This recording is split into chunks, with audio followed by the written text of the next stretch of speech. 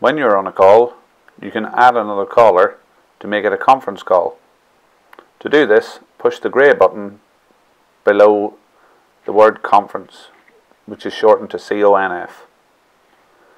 Then you dial the number of the next participant.